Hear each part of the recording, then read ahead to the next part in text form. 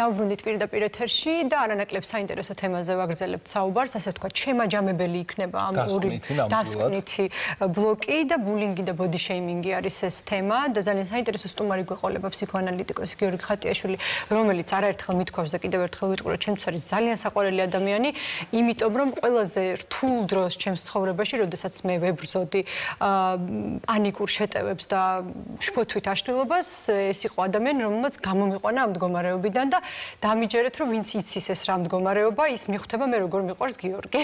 დარწმუნებული ვარ რომ შენ არ ხარ ერთადერთი ვისაც ძალიან სტიმ ძიმე პერიოდის გადაგორებაში დაეხმარა და მართლაც ძალიან საინტერესო არის მნიშვნელოვანი არის და ძალიან საგულისხმო ის თემა რომელზეც უნდა ვისაუბროთ. ვსაუბრობთ ჩაგვრაზე ეგრეთ წოდებულ ბულინგზე.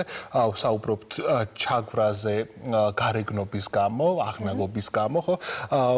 პრინციპში აი ჩვენ როდესაც პირველ ნაწილში ვსაუბრობთ ჩვენი გადაცემის სტუმართან ერთად მან ახსენა რომ აი ჩვენი ბავშვობა ეს იყო არ იყო მაინც და მაინც ისეთი თავისუფალი პერიოდი იმ თვალსაზრისით რომ ბავშვებს არ ქონდათ იმდენი ინფორმაცია რამდენიც აქვთ დღეს და ამდენად აი სხვა ბავშვის დაჩაგვრა შეიძლება იმდენად უნებლიეთ მომხდარიყო რომ ხო ამდენად ხო აი ალბათ ჩვენ ყოფილვართ დაჩაგრულები ბავშვობაში ყველანი და ყოფილვართ ამაუდროულად ჩაგვრელები გვინდოდა ეს ჩვენ თუ არა.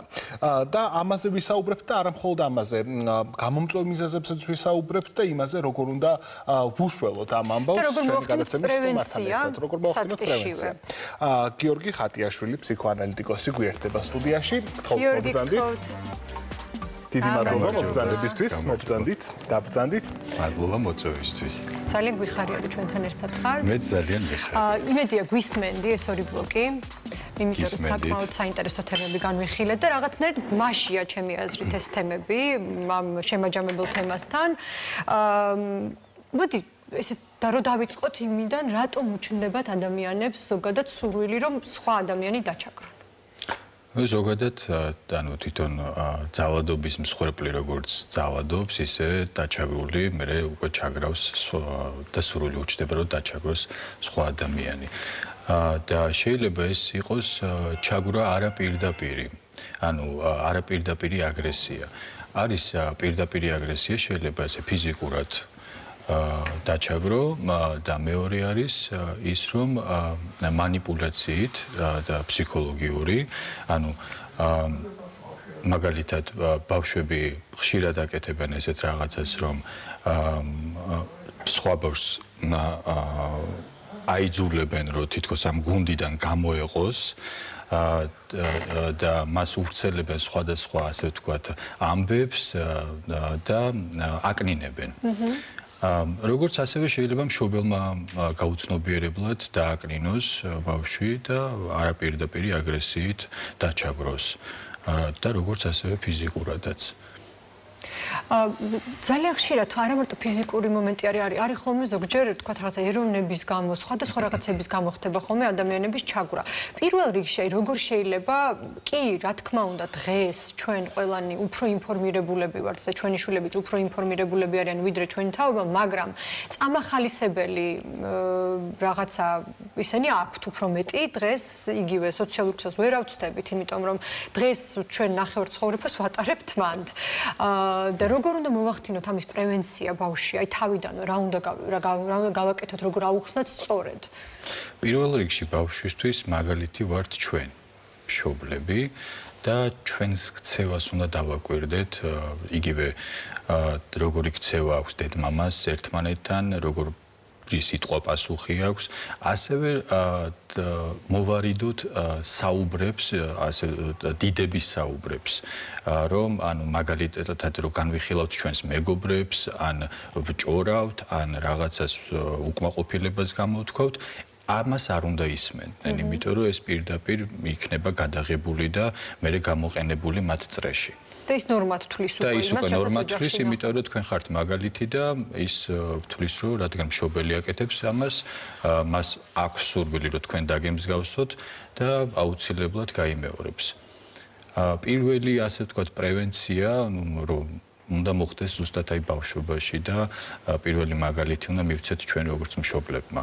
ანუ ეს ბავშვობაში ვიყალიბდება თუ შემდეგ უკვე რაღაცა შეძენილი არის, მაგრამ ალბათ ხო შეიძლება მე სკოლაში აა მაგალითად ბავშვობაში ვიყალიბდება ა პროვოცირება შეიძლება მოხდეს სკოლაში და გამოავლინოს ეს და თვითონ ასევე მაგალითად თვითონ მსხვერპლიც მაგალითად ხო ბავშვობაშივე ყალიბდება იმიტომ რომ თვითონ მშობელი მაგალითად ა რო ამაყობს იმით რომ ბავშვი არის ძალიან დამჯერი და ყველაფერსში უჯერებს მას და დამყოლი არის ის ასევე შეიძლება გახდეს მსხვერპლი სხვადასხვა ჯგუფების, ვინც მასე იძალადებს და ის იქნება დამყოლი მათთანაც. ანუ ის გვავიწყდება, რომ ის ბავშვი რო თქვენთან რო არის დამყოლი, ის იქნება დამყოლი სხვასთანაც.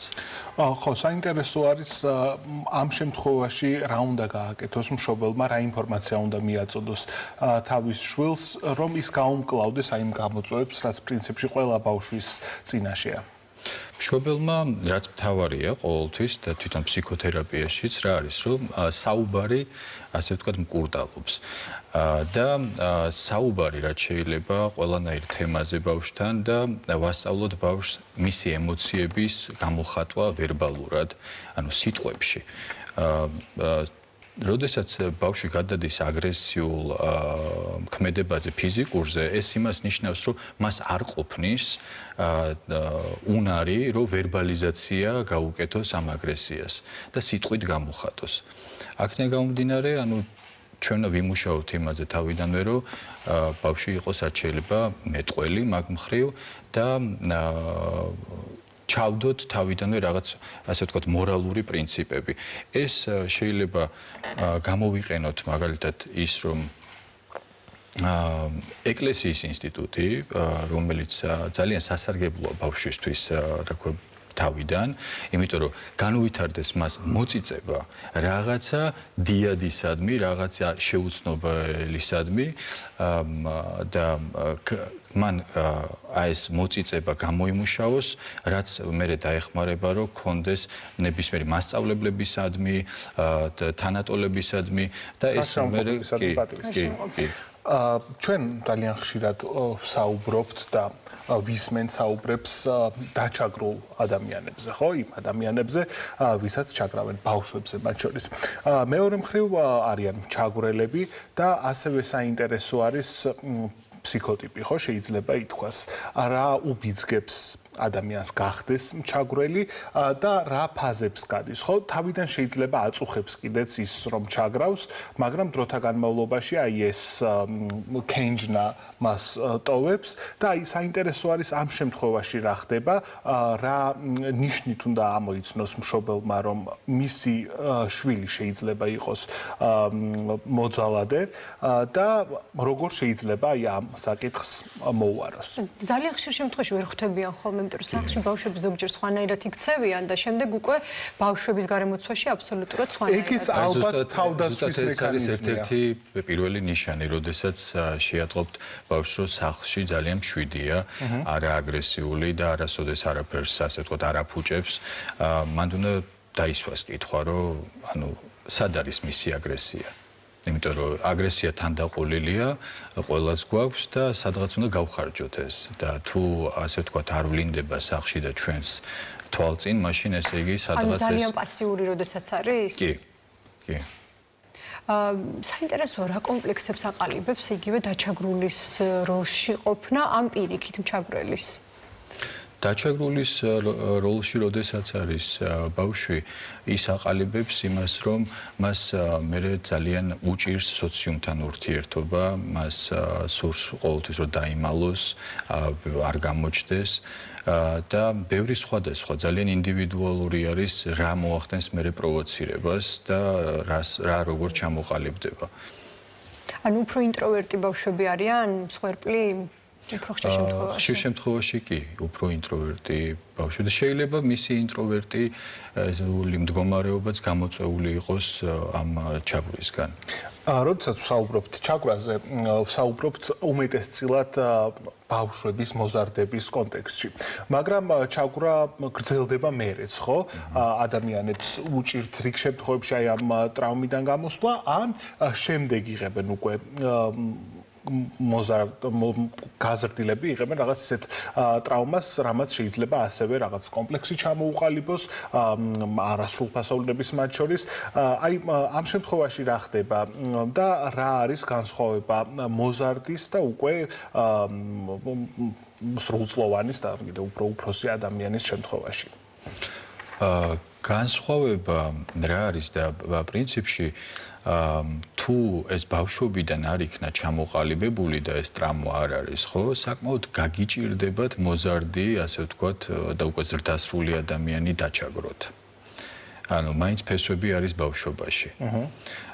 და როდესაც უკვე მას აქვს გარკვეული კომპლექსები და მას უშლის ხელს ასე ვთქვათ სრულფასოვან ცხოვრებაში უკვე ზრდასრული ადამიანი მიდის უკვე ფსიქოთერაპევტთან და ცდილობს რომ გააცნობიეროს ის რაც რეპრესირებული იქნა მას ბოლომდე არ ახსოვს და ასე ვთქვათ მოიპოვოს ცნობიერება ამ მის კომპლექსებზე და გახადოს ის მართვადი. ხო ეს კომპლექსები ჩვენი ცხოვრების განუყრელი ნაწილია ჩვენ ამას ვისაუბრეთ წინა ბლოკში ბევრი და იგივე აი ადამიანები როდესაც მოდიან შენთან ამ პრობლემით აი როგორ ეხმარები რა არის მეთოდი უნდა მიიღო და გააცნობიერო ეს თუ არის რაღაც მექანიზმები რომ თქვათ და დაიხს დაიხსნა ასე ვთქვათ რამე კომპლექსები. აა ძირითადად ეს არის გაცნობიერებაზე დაფუძნებული საუბარი, იმიტომ რომ ყველაზე მეტად ჩვენ გვიჭირს საუბარი ჩვენს ტრამვაზე და უკვე როდესაც სახელს დავარქმევთ, ვაღიარებთ და გამოვხატავთ ამას, ეს უკვე ძალიან დიდი შვება არის. აა რა თქმა უნდა ამ ამას ვერ ამოვჭრით ჩვენ ეს ჩვენი შემადგენელი ნაწილი არის უბრალოდ სწავლობთ ამასთან ერთად ცხოვრებას და მდგომარეობს მართვა იმაში რომ აღარ შეგვიშალოს ხელი ასე ვთქვათ სულფასოვან ცხოვრებაში ხო, აი ჩვენ საუბრობდით წინა გადაცემის წინა ნაწილში, პირველ ნაწილშიც ასევე სილამაზის სტანდარტებზე. ხო, რაც შეიძლება ადამიანისთვის ასევე ბავშვობიდან, მოზარდობიდან რაღაც სერიოზულ კომპლექსად ჩამოყალიბდეს. როგორია აქ თქვენ მიმართება, როგორ უნდა უშველოს ადამიანმა საკუთარ თავს რომ გათავისუფლდეს აი ამ კომპლექსისგან? აა საკმაოდ რთული პროცესია. რადგან თქვენმა წინამორბედმა სტუმარმაც ისაუბრა ამ სტანდარტებზე ამ სოციუმში რაც არის და იგივე სოციალურ ქსელებში ეს ფოტოები და ასე შემდეგ ძალიან მოქმედებს ადამიანებზე. აა გათავისუფლება ამისგან არის პირველ რიგში აა მისი ინდივიდის ასე ვთქვათ პოვნა. ანუ თვითონ და იპოვოს და მიაგნოს და ამაში რა თქმა უნდა დაეხმარება მას ფსიქოთერაპევტი და როდესაც ამ ცენტრს იპოვის საკუთარ თავში უკვე მას ჩათვალეთ რომ გადალახული აქვს ეს პრობლემა და ის უყურებს უკვე სამყაროს არა სადღაც პერიფერიიდან, სადაც მას ნებისმიერი ასე ვთქვათ შეწინააღმდეგება გინდა სოციუმიდან და ნებისმიერი ფორმით ასე ვთქვათ ამარცხებდა უკვე ცენტრში მდგარი ის მყარად დგას და ხედავს თუ რა არის სილამაზე, საკუთარ სილამაზეს აღიქვავს და ასევე მე შეუძლია უკვე სხვისი სილამაზეც აღიქვას და შეაფასოს. ანუ პრობლემის სათავე ნაპოვნია და იქიდან მე მართლა ხო, როგორც პრობლემაში სათავეა მთავარი და სათავე, იმიტომ რომ იქამდე რაღაცნაირად ჩაცხრობა ხდება უბრალოდ სიმპტომების და სათავეში შეგიძლია ეს ყველაფერი გადაკეტვას, რა თქმა უნდა. ხო, ებრძოლო მიზეზს. მიზეზს, რა თქმა უნდა. აა ჩვენ საუბრობდით და ვაგრძელებთ რასაკვირველია საუბარს. კომპლექსებთან და ლიკამ აღნიშნა და მეც დავეთანხმე რომ ადამიანებს აქვთ კომპლექსები ზოგი მეტად აწუხებთ ზოგი ნაკლებად. რა შემთხვევაშია საჭირო რომ ვებრძოლოთ ამ კომპლექსებს და როგორ უნდა მიუდგეთ საკუთარ თავს აი ის რაღაცა ცენტრის პოვნა და რაღაც მიზეზის აღმოჩენა რასაკვირველია ერთია, მაგრამ იქამდე მისვლა საკმაოდ რთული პროცესი უნდა იყოს. აი რაღაცა ისეთი მარტივი ის რომ მოგცე რჩევები. რჩევები.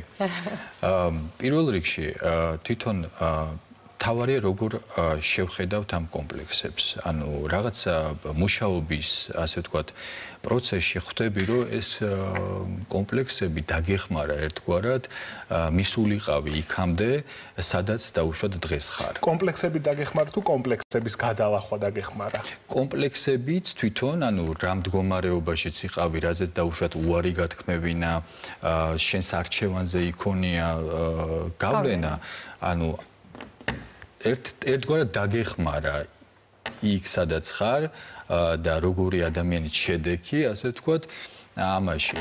მაგრამ უკვე რო აცნობიერებ იმ დაბრკოლებებს, რომ შენ კიდე უფრო წინ გინდა წასვლა და განვითარება, უკვე ამას ძალას აკარგინებ მისი გაცნობიერებით.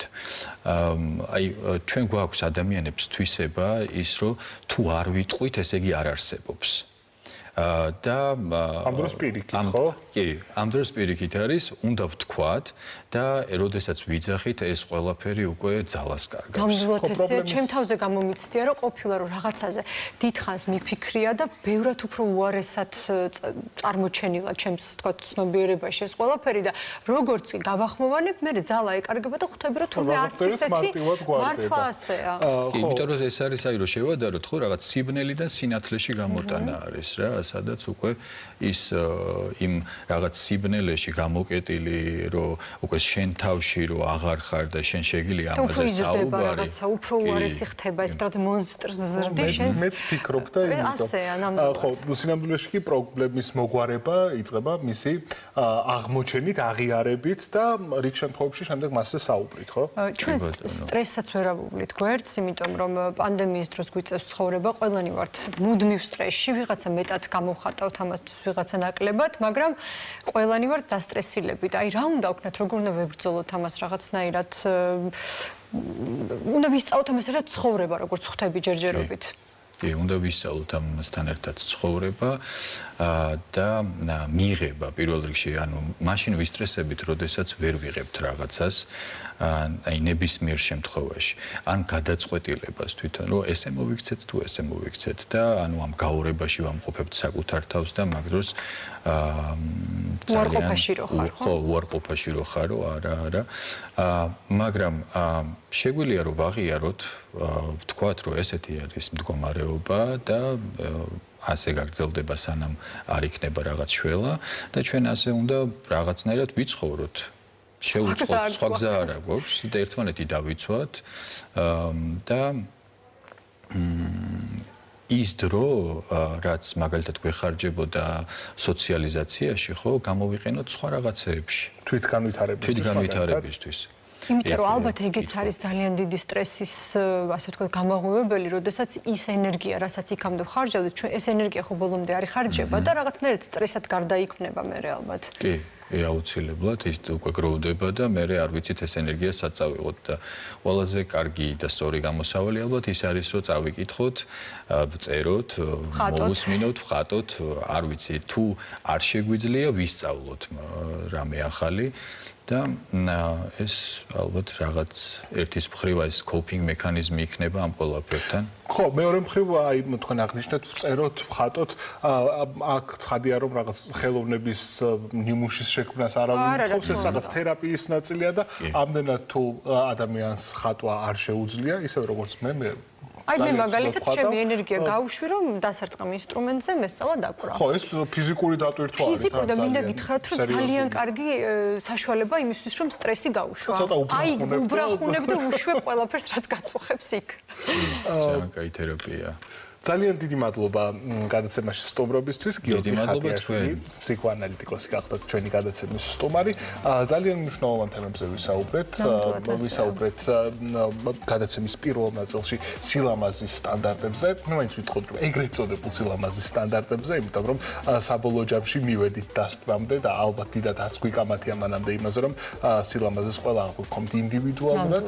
და და ყველაზე ლამაზი ადამიანი ბედნიერი ადამიანია ხო ხო რა ჯობია ბედნიერი ადამიანის ცხოვრებას. ვისაუბრეთ ასევე იმაზე თუ რა კომპლექსები შეიძლება შეიძინოს ადამიანმა სწორედ ამ ეგრეთ წოდებული სილამაზის სტანდარტებიდან გამომდინარე და გადაცემის ბოლო ნაწილი ისეთი ყველაზე ისე შემაჯამებელი და ყველაზე მრავალწახნაგოვანი იყო ხო? საუბრობდით ჩაგვრაზე რაც აერთიანებს ყველაფერს რაღაცა ხო რასაკვირველია და აი ამით მე მგონი ძალიან ბევრ კითხვას უპასუხეთ ჩვენი თავებისთვის პირველ რიგში და იმედი მაქვს რომ ჩვენმა მაყურებელმაც ბევრი საინტერესო რამ შეიტყო ყველანდელი გადაცემის ჩვენს ბევრი ინფორმაცია მივიღეთ დღეს.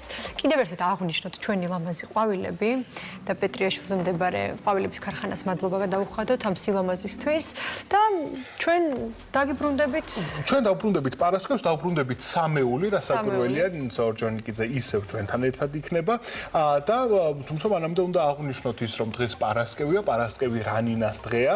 სადაც ლიკა ევგენიძეს კიდევ ერთხელ შეხვდებით არაჩვეულებრივ ადამიანებთან ერთად იმ მომავლის ვარსკვლავებთან ერთად ხო შეიძლება ითქვას? კი ნამდვილად საოცარ ბავშვებთან რომლებიც ისე შემიყვარდნენ რომ აი წარმოდგენა არ გაქვთ აი ძალიან მიჭირს რომ ეს რაღაცნაირად მოუყვა იმდენად რაღაცნაირი მიჯაჭვულობა გამიჩნდა მათთან. ხო ჩვენ დავბრუნდებით შეგვხვდებით საღამოს და დღის კოდი ორშაბათს დაგიბრუნდებათ. ნახვამდის